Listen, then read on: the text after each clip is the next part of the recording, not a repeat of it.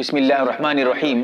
کچھ حضرات یہ کہتے ہیں کہ فقہ حنفی میں حدیث کے مقابلے میں قیاس کو ترجیح دی گئی ہے۔ حدیث کے مقابلے میں قیاس کرتے ہیں، حدیث چھوڑ دیتے ہیں، قیاس پہ عمل کرتے ہیں فقہ حنفی پہ۔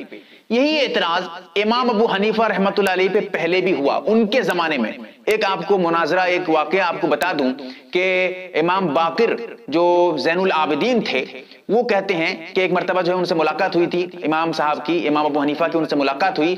تو انہوں نے کہا کہ میں سنا ہوں کہ آپ جو ہے میرے نانا کی حدیث کو میرے کون امام باقر کہتے ہیں، زین العابدین کہتے ہیں کہ میں نے سنا ہے کہ آپ وہی شخص ہیں جو میرے نانا کی حدیث کو قیاس سے بدل ڈالتے ہیں۔ تو امام صاحب نے کہا کہ نہیں نہیں، بالکل غلط بات ہے، ایسی بات بالکل نہیں ہے۔ پھر ان کے سامنے امام صاحب بالکل جو ہے تلمیز کی طرح یعنی شاگرد کی طرح بیٹھ جاتے ہیں۔ ان سے کہتے ہیں، میں کچھ سوالات کرنا چاہتا ہوں، آپ جواب دے دیجیے مجھے۔ پھر ان سے پوچھتے ہیں، کیا پوچھتے ہیں؟ تین تین سوال کرتے ہیں۔ ایک سوال یہ کرتے ہیں کہ آپ بتائیے، امام ابو حنیفہ رحمۃ اللہ علیہ، امام باقر سے پوچھتے ہیں، سوال کرتے ہیں، کہتے ہیں کہ آپ یہ بتائیے کہ عورت زیادہ طاقتور ہے یا مرد؟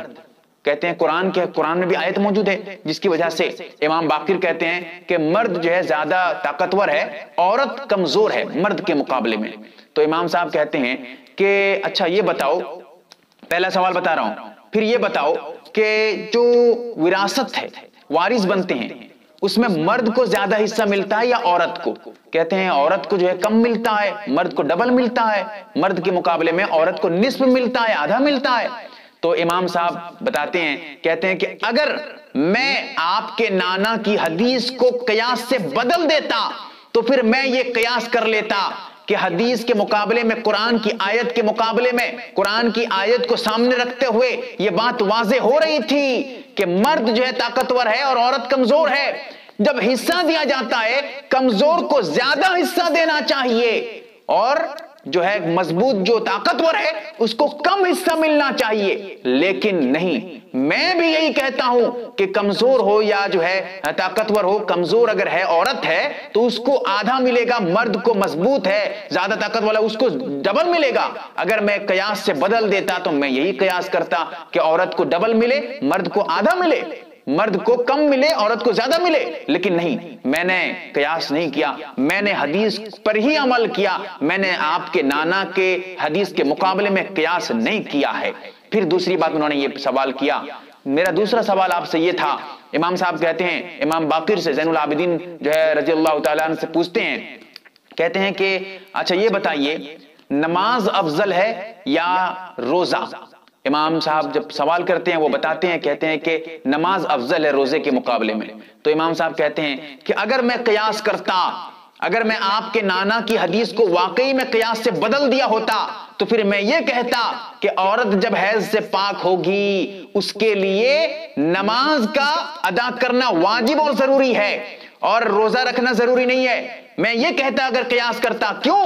کیونکہ نماز افضل عبادت ہے روزے کے مقابلے میں، لیکن نہیں، میں نے قیاس نہیں کیا۔ آپ کے نانا کی ہی حدیث کے مطابق میں نے یہ حکم بتایا لوگوں کو کہ کیا؟ نہیں عورت جب نماز جو ہے حیث سے پاک ہوگی تو نماز معاف ہے۔ اور حدیث میں یہی بتایا گیا ہے۔ اسی طرح اس کے لیے روزہ رکھنا ضروری ہوگا۔ میں نے یہاں قیاس نہیں کیا۔ اس کے علاوہ امام صاحب نے جو ہے ان سے ایک اور سوال کیا کہ جیسا کہ آپ اس کے علاوہ اور بھی بہت ساری باتیں ہیں۔ پیشاب اور نجس کے بارے میں کہ منی اور پیشاب کے بارے میں بتاتے ہیں کہ پیشاب زیادہ ناپاک ہے یا منی زیادہ ناپاک ہے؟ تیسرا سوال، امام باقر سے امام صاحب فرماتے ہیں، کہتے ہیں کہ آپ یہ بتائیے، منی زیادہ ناپاک ہے یا پیشاب؟ کہتے ہیں کہ نہیں، منی تو کم ناپاک ہے، لیکن پیشاب زیادہ ناپاک ہے۔ منی کے مقابلے میں۔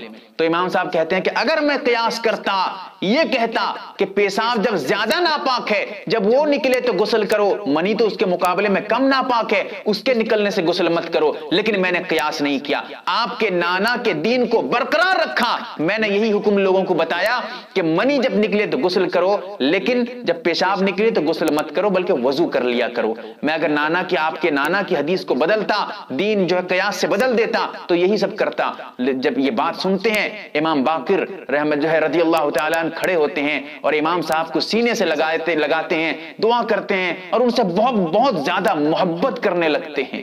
دیکھیے گا جو حضرات یہ کہتے ہیں کہ حنفی حضرات قیاس کو ترجیح دیتے ہیں حدیث کے مقابلے میں، بالکل غلط بات ہے، بالکل غلط بات۔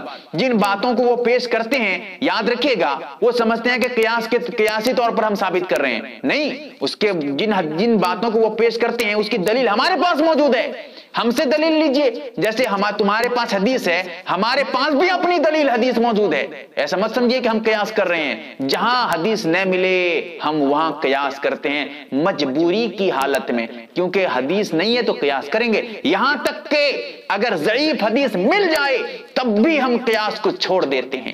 حنفیوں کا یہی طریقہ رہا ہے۔ امام ابو حنیفہ نے اس کی تصریح کی ہے۔ جب مجھے ضعیف حدیث میں مل جاتی ہے، میں قیاس نہیں کرتا ہوں، ضعیف حدیث کو ترجیح دیتا ہوں۔ امام صاحب یہی فرماتے ہیں۔ اللہ تعالی ہم تمام کو صحیح بات کی توفیق عطا فرمائے۔ آمین یا رب العالمین۔ یم اے آر بی دینی معلومات چینل کو سبسکرائب کریں اور گھنٹی والے نشان کو ضرور دبائیں تاکہ ہم جب بھی نئی ویڈیو ڈالیں وہ آپ تک پہنچ جائے۔ ویڈیو کو لائک اور شیئر ضرور کریں۔ واٹس اپ گروپ میں شامل ہونے کے لیے آپ اپنے واٹس ایپ نمبر سے ایڈ لکھ کر میرے WhatsApp number eight nine zero eight nine three nine three four three کو میسج کریں۔